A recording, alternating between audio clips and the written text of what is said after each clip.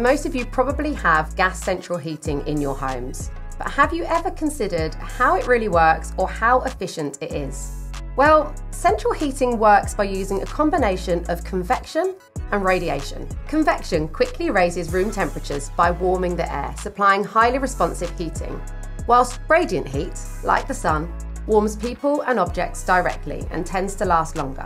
Electric radiators also use convection and radiation to produce warmth, making them highly efficient when it comes to heat transfer.